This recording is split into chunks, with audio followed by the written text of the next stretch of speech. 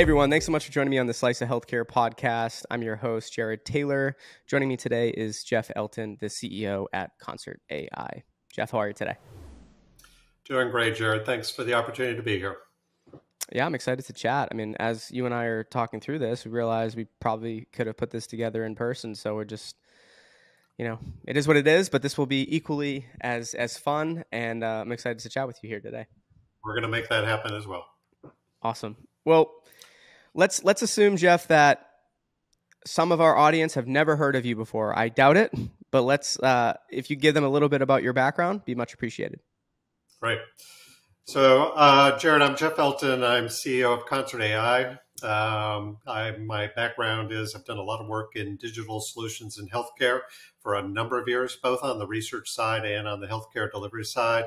Also have a background in having done work in clinical development, drug discovery, etc., back to my days at Novartis. So deeply, deeply committed to moving new biomedical innovations forward for the benefit of patients.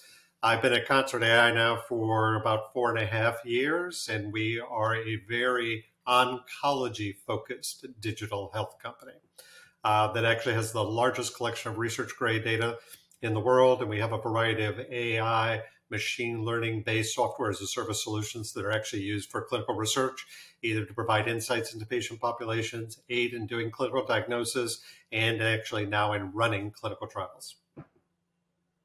And what played like a big role in, in you wanting to, you know, be a part of this mission, this vision for the company? Um, you know, what was it about this space that kind of really attracted you to it? So, you know, oncology and cancer care is I mean, one, it's it's you know, it's a devastating disease. It's touched everybody's life, every family's life, and uh, and it um, kind of is something that uh, clearly affects most of us as we age. And I think as something that kind of does erode the quality of families in life, it kind of compels you to it. But it also happens to be one of the categories where we're gaining the most insights and there's more data available, whether it's next generation sequencing data, healthcare data. There's more data available on cancers as a consequence of the research activity and the care we've been doing than there is for any disease. And so, for me personally, the commitment to moving biomedical innovations forward, but also seeing that in cancer care, because of the wealth of data that's now accessible to it, I can actually bring some of the latest data science, AI, machine learning based approaches and actually accelerate benefit here that can probably help other diseases in the future, but is actually more possible to advance quickly here. Um, because 50% of the clinical development pipeline of the industry tends to be in cancer focused therapeutics. And I don't know if everybody knows that, but most biomedical innovation is focused on, on kind of cancer, whether solid tumors and hematological malignancies.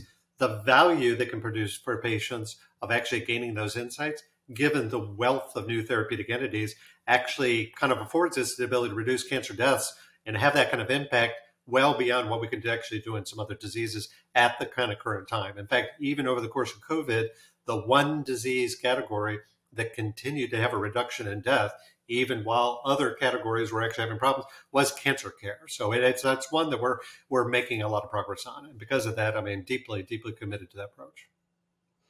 And you know, recently um, President Biden announced his kind of American moonshot agenda, and, and cancer was on there. Can you dive in a little bit more about uh, cancer's place on that on that moonshot agenda, and then maybe um, how that aligns with what you're doing at Concert AI?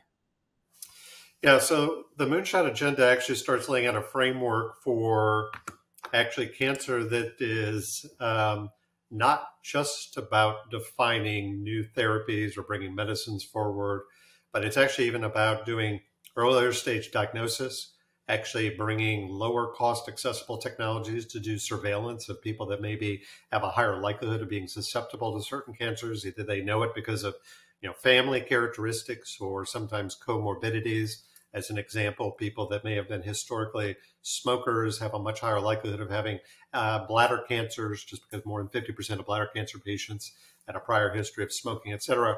So when you when you get into those diseases, the, the idea here is almost to move the field even further to earlier stage and even to some preventative areas.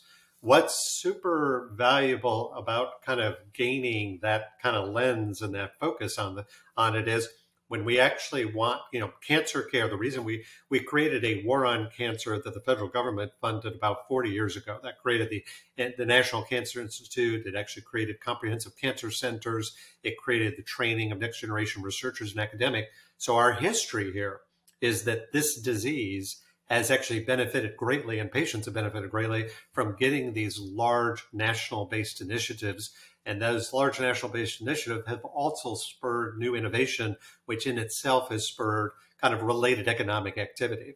So it's been a great catalyst. And actually, I think now cancer care treatment is going earlier. The, night, the, you know, the positive part of the field is we're living longer. We're actually going to go through successive treatments we actually have the ability to identify and intervene earlier. So if we can keep taking that earlier, it means the nature of the therapy and the interventions are much more sparing and much less burdensome on the patients and increase the likelihood of a very high quality life and high quality years that follows that early interaction. So it's a, it's a very important initiative for the field. Yeah, it's it's been interesting learning more about it, and then also hearing you you speak more about the the initiative, and then how that aligns with what you're doing in Concert AI.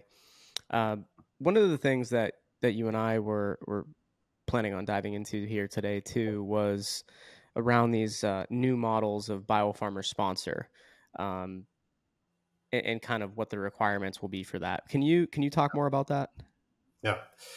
So, you know, over the course of the um, pandemic, we saw an influx of a variety of different technologies, use of data in ways that we never saw before. So, uh, digital clinical trials, sometimes called decentralized trial activities, use of real world evidence to complement randomized control trial, um, use of AI and machine learning tools to identify patients within the workflows of a provider to kind of make them sort of to make sure that the research site could know that they're actually eligible for a potentially beneficial clinical trial. So we saw these things that had actually sat out there for a number of years before the pandemic start to kind of come into kind of larger scale use, in part because they didn't require people to visit those sites.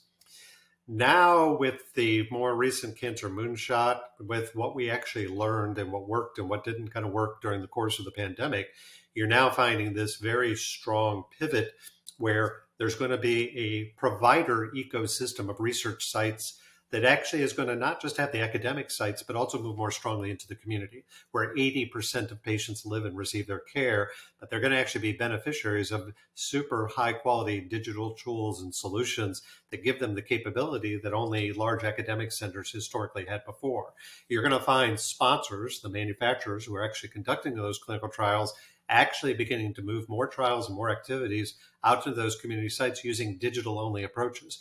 In fact, you may have seen we made an announcement last week with Bristol Myers Squibb that we are initiating something called Digital Clinical Trial Solution. That solution uses the electronic medical record as the source system to populate the data for the trial. No people visit, no manual entry on part of this and we're using data that actually comes out of existing clinical data sources and then writing it to the electronic data capture system in a way that we can actually begin to offer 30 to 50% improvements in precision and productivity. That is super important because the more productive we are, the faster we can conduct trials, the more quickly we can complete trials, almost every other pharma company has a backlog of studies that they couldn't fund. And so therefore we're going to be able to afford and be able to advance more innovations for patients in a narrow number of time, which actually provides more new medicine to kind of actually make sure that we're able to kind of continue the progress we're making.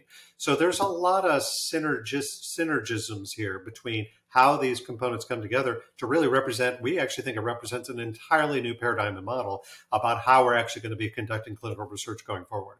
And we don't think things are going to go back to the legacy models at all. You mentioned this recent uh, relationship uh, Jeff with Bristol Myers Squibb. Um, how open are you to other types of relationships like that, or is this like you can oh. only work with them?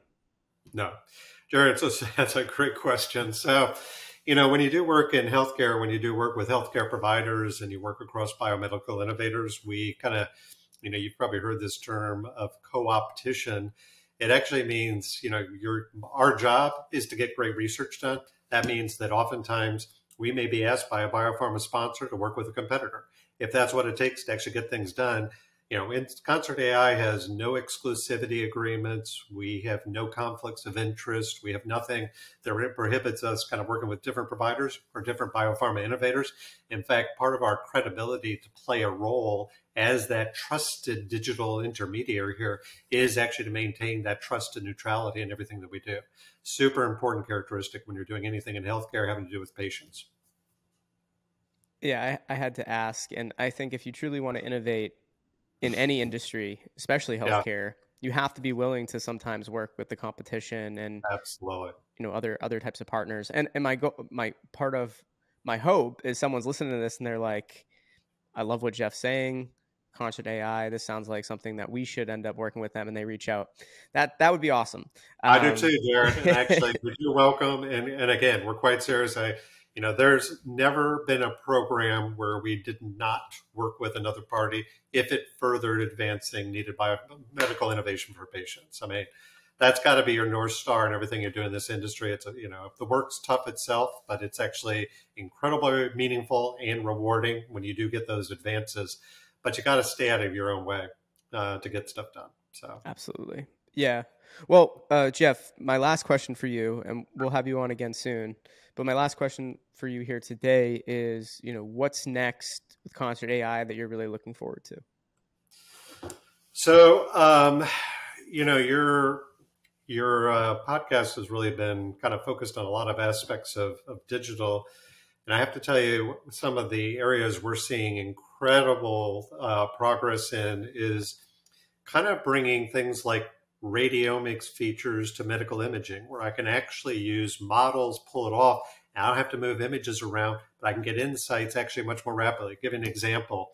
We can actually get genomic status of a patient using radiomics without having to do next generation sequencing.